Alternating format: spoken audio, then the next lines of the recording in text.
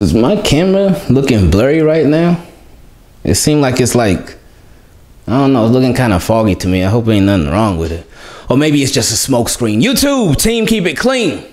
What's going on? It's Ingraven here with another video. And these Ravens, boy, they do it again. They do it again. Ravens with them smoke screens, they are so good at it too. They are so good at it. They went and brought brought in.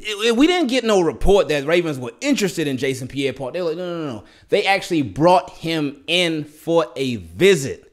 Brought him in for the for a visit. He over there uh, doing the Instagram story from the locker room and whatnot. Oh yeah, good vibes. I love the vibes in here. Oh, it's all vibes. Okay, cool. Oh yeah. And they end up hitting us with that swerve and signing Steven Means. Um, and Steven Means is funny because this offseason, the Ravens are the Ravens have been in ultimate what's up big head mode. Because the Ravens, they just they want that old thing back. They really do. The Ravens, they tried to bring back Za'Darius Smith. We know what happened with yikes. Um, the Ravens, they brought back Tony Jefferson uh, again, who they had ended up bringing him back last year. Uh, they were like, you know what, bringing you back was so nice, we want to do it twice. Come on back. They re-signed Geno Stone, who they had originally drafted, then they cut him, and then he went to the Texans, then they signed him back, and now they re-signed him again. Uh, now and they also brought back Brent Urban. Brent Urban, who was last with the team, I want to say in 2017 or 2018, one of those two, but they brought him back again. They brought back Michael Pierce, who was last with the team in, in 2018 or 19. They bringing all these boys back, man. They like, hey, y'all got away the first time. Y'all ain't getting away again, man. So Ravens, they clearly, and then Josh Bynes, I mean, they they done brought this dude back like 50, 60 times already. Um, so Ravens are clearly in what's up big head mode uh, this offseason. And then when you think about uh, the draft, coupled with free agency and moves that the Ravens both have and have not made, it's looking like they want they, they, they sent a text to 2019 to that offense saying, "Hey, what's up, big head? We, we trying to get back with you." So we'll, we'll see how things end up working out, though, and we'll see how it it plays out.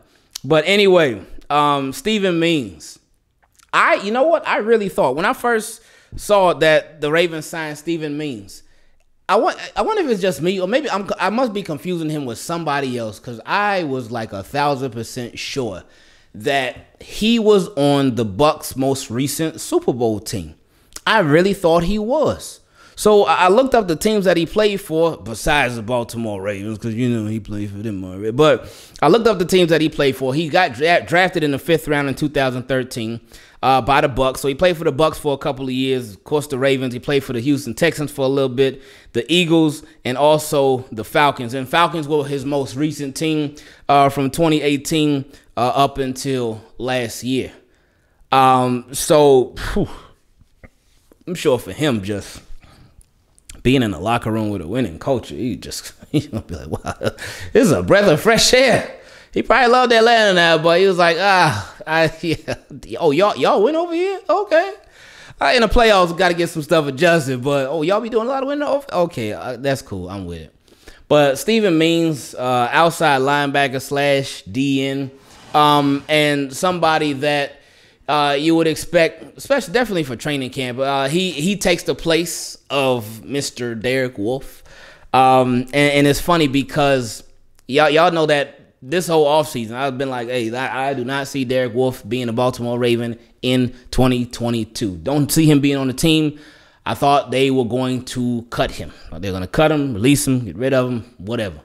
Um, and then they signed Brent Urban. When they signed Brent Urban, I was like, oh, well, I guess that's a wrap, y'all. I guess Derek Wolfe time coming to an end sooner rather than later.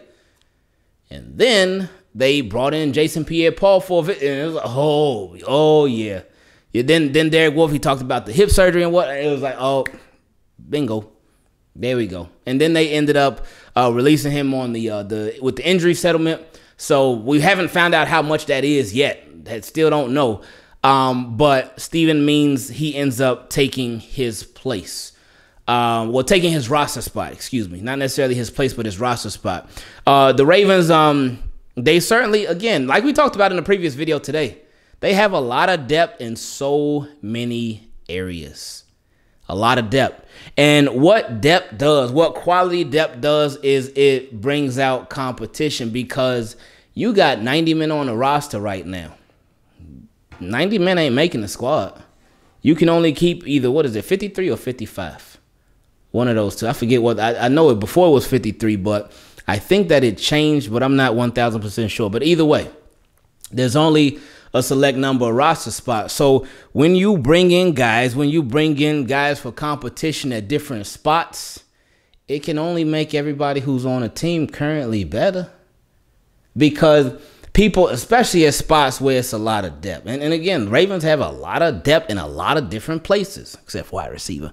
But with this, it adds another D into the mix, another outside linebacker to the mix. And now I wonder because we got a couple of weeks left to see with Justin Houston and his situation. Um, there's a lot of pressure on. Oh, you know what? I didn't even think about that. Maybe they go in a different. Maybe they go another route. What I was gonna say is, um, with Justin Houston, because um, this, ex- I would expect him to be back. Now, Ravens, they can they can rescind that unrestricted free agent tender that they offered to Justin Houston or that they assigned to Justin Houston. They can they can take it back and be like, oh, well, never mind, you're a free agent. Um, but the way that it works is that uh, if he doesn't get signed by another team by the beginning of training camp or like July 22nd, whatever date it is, then he will come back to the Ravens. Um, so with that being said, I, I was gonna say I wonder like how they're gonna work out the roster spot when he comes back because Steven Means is somebody that's in that same spot, like the edge position, outside linebacker, DN, and whatnot. You got Jaylon Ferguson there. You got Brent Urban. Well, Brent Urban just DN, no outside linebacker about Brent Urban at all. Uh, but he's more DN. Um, so who else you got? Uh, man, yeah. So you got Steven Means, Brent Urban, Jaylon Ferguson. Calais Campbell, kind of Calais Campbell, you could like move him around some different spots, but so you got you got some options there. But my point is, you have oh, you got Malik Harrison. They say they're gonna try him out at the end. Oh, I'm tripping. Odafe Oweh. Odafe Oweh. Man, I'm oh, I'm tripping. Wow. Tyus Bowser. Wow, I'm tripping. Wow. Today, David Ojabo eventually. Again, little red shirt right now because it's Achilles. But Okay. So you know sometimes some stuff take a little bit longer for, to get clicking with me. Um, so you you have a lot of guys there right now. You add Justin Houston back to the mix, uh, it gets just the pot gets that much thicker uh, when it comes to your depth. Um, so I just wonder like if I wonder if he would be like sort of a placeholder till Justin Houston comes back, and then they'd be like, "Oh, okay, Justin Houston's back. All right, we're gonna release you." Because it happens all the time. NFL is a cold, cold business, man. Cold business. Um, but what I was gonna say is that it, it this could be it could literally be a placeholder type of thing. It could be one of the oh we staying ready so we ain't got to get ready just in case. Um, because he won't even have any time.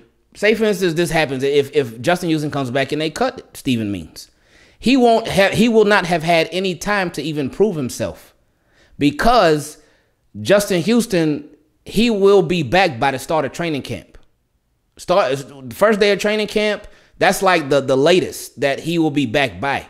Um, so that spot, like his spot, you know his spot is good. Justin Houston's spot is good as long as he's they still have that tender issue to him. His spot is safe. Um, but with nothing happening over the next couple of weeks, like the, the only thing they got is the the rookie mini camp coming up soon or whatever. But um, that's it. Ain't, ain't the vet the veterans are off. They're off. So he won't even get to show them what he got in practice. He won't even get to show them like, hey, I'm like this. I could do this. I could do that. Da da da da da. Because well, and even if it's not Steven Means, if it's somebody else, once Justin Houston comes, if he comes back, it's not set in stone, but I mean, you feel like it is. But if Justin Houston comes back, whoever roster spot he takes, they will have already OTAs was it. OTAs and minicamp was it for them. So I, I, just felt like that was that was interesting. Sorry about the little the little. Well, I ain't sorry about the rant. I ain't sorry about that. But it's just thinking out loud. So we'll see what happens with that. But um, from what I saw from Steven Means, um, I did watch a uh, a little bit of the, him on Wired Up from the Falcons. I think it's called Wired Up, and he just seemed like a real high energy guy, um, high energy teammate, uh, a, a vocal leader, um, somebody that's just uh, just has a lot of fun. And that's that's what I saw when I watched that video. Uh, somebody that has a whole lot of fun. Um, so the Ravens, they they could certainly. I mean, you can't get enough of those people in the locker room, especially this year. Like Ravens last year, you know, them boys was not having fun with all them injuries, with all them injuries and all them close losses. Oh yeah, they they wasn't having fun like that, man. They really wasn't. But um, so we'll see what happens. I'm I'm really naive to his game. Um, do remember his name, but naive to his game. Uh, so I, I, I, really honestly couldn't tell you about him uh, in that aspect. Um, but from the business side, uh, or from the roster side, again, it's depth. It's depth, straight up depth. But there's depth for special teams, depth for defense, depth for defensive end, depth for outside. It's, it's depth. So again, last year, last year was a very nice lesson when it comes to depth.